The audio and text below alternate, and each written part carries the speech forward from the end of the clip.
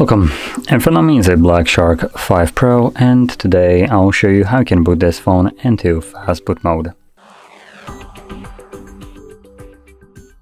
So to get started, hold the power key and select power off. And when the phone turns off you want to hold power and volume down at the same time. This will boot us into fastboot mode after a short moment of holding those keys. And there we go.